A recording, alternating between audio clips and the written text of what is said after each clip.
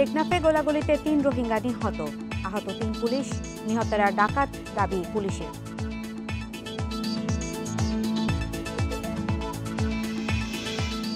গাইবান্ধার গোবিন্দগঞ্জে বাস খাদে পড়ে নিহত ছয়, আহত চোদ্দ। হতাহত বাড়ার আশঙ্কা।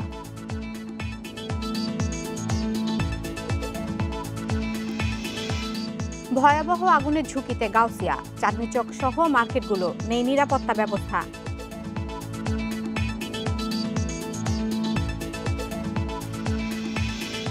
প্রায় পাঁচ বছর পর হচ্ছে বিজিএমইএ এর নির্বাচন। ঢাকায় ২৬ পদে প্রার্থী চুয়াল্লিশ, ভোট চারটা পর্যন্ত।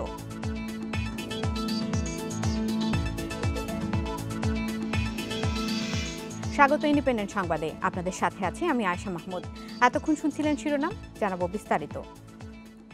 গাইবান্ধার গোবিন্দগঞ্জে বাস উল্টে খাদে পড়ে ছয়জন নিহত হয়েছেন। এ ঘটনায় আহত হয়েছেন অন্তত চোদ্দ জন। গতরাত দুইটার দিকে ঢাকা, দিনাজপুর মহাসড়কের জুম্মার ঘর এলাকায় এই দুর্ঘটনা ঘটে।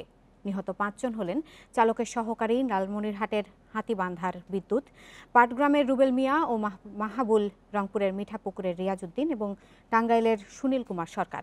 পুলিশ জানায়, বরকত পরিবহনের একটি বাস ঢাকা থেকে লালমনিরহাটের বুড়িমারি যাচ্ছিল। চালক বেপরোয়া গতিতে গাড়ি চালাতে গিয়ে নিয়ন্ত্রণ হারিয়ে ফেলার কারণেই দুর্ঘটনা ঘটেছে বলে জানিয়েছে পুলিশ। এতে ঘটনাস্থলেই নিহত হন পাঁচজন। হাসপাতালে নেবার পথে মারা গেছেন রুবেল মিয়া নামের একজন। আহতদের উদ্ধার করে গোবিন্দগঞ্জ স্বাস্থ্য কমপ্লেক্স ও রংপুর মেডিকেলে ভর্তি করা হয়েছে। রংপুর মেডিকেলে ভর্তি নয় জনের মধ্যে তিনজনের অবস্থা আশঙ্কাজনক বলে জানিয়েছেন চিকিৎসকেরা।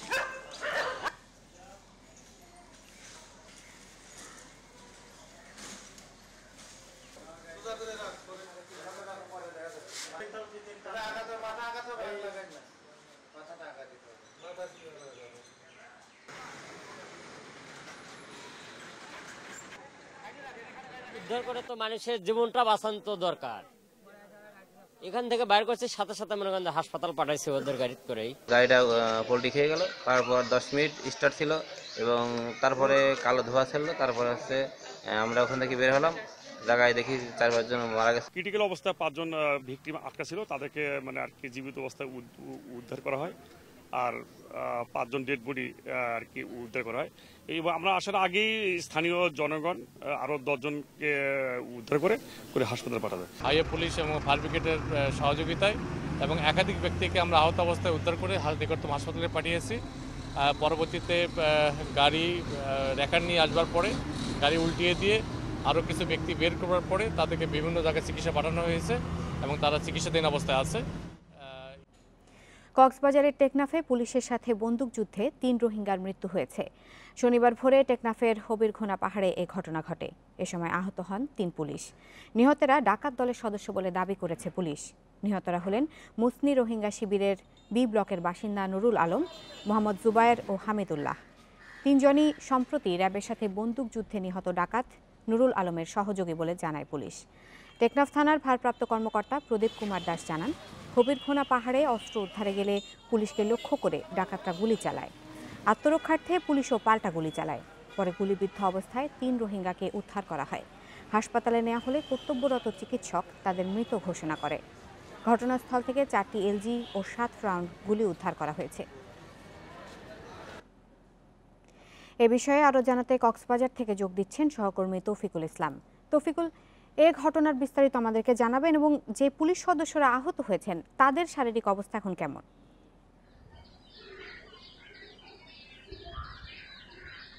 আজকে সকালে টেকনাফের মুসুনি ক্যাম্পে এই ঘটনা ঘটে। মুসুনি ক্যাম্পের পাশে একটি পাহাড় রয়েছে। সেখানে পুলিশের সাথে এই যে রোহিঙ্গা যারা সন্ত্রাসী রয়েছে, তাদের গোলাগুলি ঘটনা ঘটে। সেখানে তিনজন রোহিঙ্গা মারা যায়।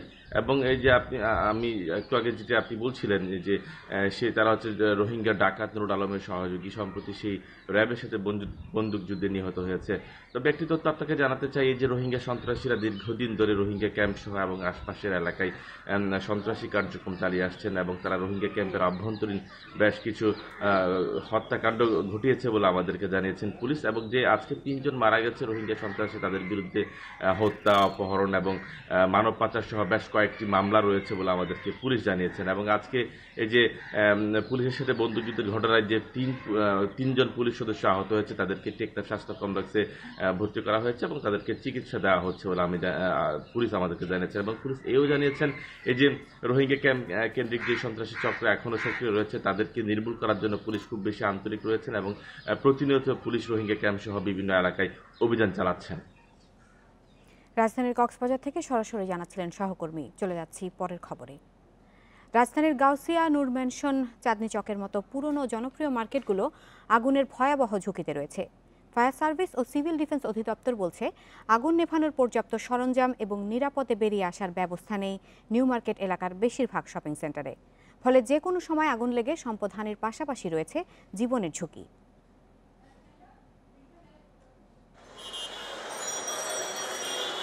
রাজধানীর কয়েক দশকের পুরনো এবং জনপ্রিয় মার্কেট নূর ম্যানশন শপিং কমপ্লেক্সের চিত্র এটি। প্রতিটি দোকান ও হাঁটার সরুগুলি কাপড়ে ঠাসা। মাথার ঠিক তিন ফুট ওপরেই ঝুলছে বৈদ্যুতিক তার। এসির তারগুলো সুরক্ষিত নয়। এছাড়া মার্কেটের পঞ্চম ও ষষ্ঠ তলায় অপরিকল্পিতভাবে গড়ে উঠেছে মিনি গার্মেন্টস। শুক্রবার মার্কেটটিকে অত্যন্ত ঝুঁকিপূর্ণ বলে চিহ্নিত করে ফায়ার সার্ভিস ও সিভিল ডিফেন্স অধিদপ্তর। এক্সিট মার্কিংগুলো নাই, তারপরে ওদের ফায়ার অ্যালার্ম নাই। তারপরে পানির কোনো উৎস সুবিধাজনক না। যে পানি আছে অনেক অল্প, আর সিঁড়ির মাঝখানে দোকান দিয়ে সিঁড়িগুলো প্রতিবন্ধকতা সৃষ্টি করে রাখা- রাখছে। একই অবস্থা চাঁদনি চক, গাউসিয়া, ধানমন্ডি, হকার সহ এই এলাকার অন্যান্য মার্কেটগুলো। আগুন লাগলে পথ খুঁজে বের হওয়া কঠিন, তার উপর বেশিরভাগই জানেন না দুর্ঘটনা ঘটলে কি করতে হবে। মালিক পক্ষ এরা যদি ব্যবস্থা না দেয় বা কর্তৃপক্ষ এরা যদি কোনো ব্যবস্থা না দেয় আমরা সাধারণ শ্রমিক কীভাবে নিব? এখানে যেহেতু কারখানা তাইলে যত ভিতরে থাকবে এখানে তো বাঁচতে হবে। ঝুঁকির কথা স্বীকার করে নূর ম্যানশন শপিং কমপ্লেক্স কর্তৃপক্ষ বলছে ফায়ার সার্ভিসের দেওয়া সুপারিশ অনুযায়ী তারা ব্যবস্থা নেবে। তবে গাউসিয়া সুপার মার্কেট কর্তৃপক্ষের দাবি তাদের মার্কেটে আগুন নেভানোর পর্যাপ্ত ব্যবস্থা আছে। সম্পদ আমাদের এটা রক্ষা করার দায়িত্ব আমাদেরই। এটা যেহেতু আমাদের সম্পদ আছে কোটি কোটি টাকা ইনভেস্ট অবশ্যই আমাদের যেহেতু ঝুঁকিপূর্ণ ফায়ার সার্ভিস বলে গেছে, আমাদের করতেই হবে এটা। আমাদের মার্কেটে পর্যাপ্ত পরিমাণ এই ফায়ার ব্রিগেডের পর্যাপ্ত সরঞ্জাম আছে। আমাদের এখানে সম্পূর্ণ আমরা নিরাপদ। আমাদের গাউসিয়া মার্কেট কোনো ঝুঁকিপূর্ণ নাই। আইন অনুযায়ী আগুনের ঝুঁকি এড়াতে মার্কেটের ছাদে ওঠার সিঁড়ি, দরজা খোলা রাখা, বের হওয়ার একাধিক দরজা আন্ডারগ্রাউন্ডে পঞ্চাশ হাজার গ্যালন পানি মজুদ এবং মার্কেটে নিজস্ব ব্যবস্থাপনায় আগুন নেভানোর কর্মী থাকার কথা। কিন্তু এই আইন মানেনি এসব shopping centre Khaled Raihan independent news Dhaka. চট্টগ্রামের কাজীর দেউরি এলাকায় আগুনে পুড়ে গেছে একটি শপিং মলের বেশ কিছু দোকান। সকাল সোয়া ছয়টায় এ ঘটনা ঘটে। ফায়ার সার্ভিস জানায়, সকাল আনুমানিক সোয়া ছয়টার দিকে Kazir Dewri international convention centre সংলগ্ন শপিং মলে আগুন লাগে। খবর পেয়ে ফায়ার সার্ভিসের চারটি ইউনিট ঘটনাস্থলে যায়। প্রায় এক ঘণ্টা চেষ্টায় আগুন নিয়ন্ত্রণে আনে ফায়ার সার্ভিস। আগুনে বেশ কিছু দোকানের মালামাল পুড়ে গেছে, তবে হতাহতের কোনো ঘটনা ঘটেনি। আগুন লাগার কারণ ও ক্ষয়ক্ষতির পরিমাণ এখনও জানা যায়নি।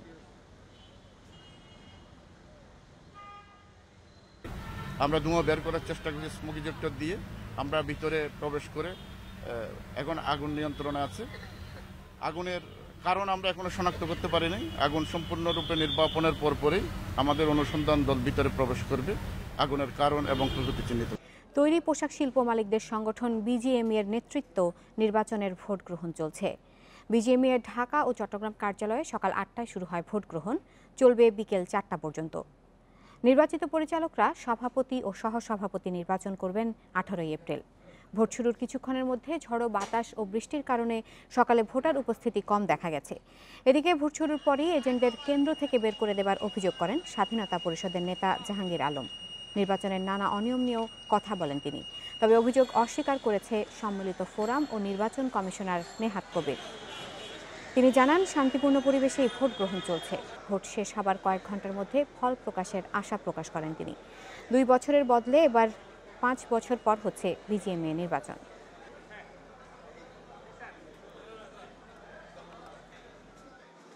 আমাদের পুলিং এজেন্ট মানে দুইজনকে, যে দুইজন তাও আসতে পারেনি, ওনাদেরকে ভয়ভীতি দেখানোর কারণে ওনারা আসেন নাই। আমরা আমাদের ক্যান্ডিডেটদেরকে একজন ক্যান্ডিডেট আরেকজন ভোটার হিসাবে এখানে দিয়েছিলাম এজেন্ট কিন্তু ওনারা এটা অ্যালাউ করছেন না। ভোট হচ্ছে আনন্দঘন একটা পরিবেশ সবাই আছি আমরা আমাদের যারা প্রতিপক্ষ আছেন ওনারাও আছেন। আমি তো ভীষণ ভালো বোধ করছি। এবং আমার মনে হয় এটি আমাদের জন্য অত্যন্ত একটা শুভ মুহূর্ত এবং আমরা সবাই অংশগ্রহণমূলক নির্বাচন করছি এটি অনেক বড় কথা। যত দ্রুত সম্ভব আমরা রেজাল্টগুলো জানিয়ে দেওয়ার চেষ্টা করব। আপনারা জানেন যে চিটাগংয়েও ভোট হচ্ছে। চিটাগং এবং ঢাকার ভোট একসঙ্গে কুলেট করে আমরা ফলাফল জানিয়ে দেবো যত শীঘ্রই সম্ভব। এ বিষয়ে আরও জানাতে রাজধানীর বিজিএমইএ ভবন থেকে যোগ দিচ্ছেন সহকর্মী শাহিদ আহমেদ। শাহিদ, এইমাত্রই জানাচ্ছিলাম যে ভোটের অনিয়ম এবং এজেন্টদের কেন্দ্র থেকে বের করে দেবার অভিযোগ উঠেছে। স্বাধীনতা পরিষদের নেতা জাহাঙ্গীর আলম সেই অভিযোগটি করেছেন। তো তিনি আর কি বলেছেন?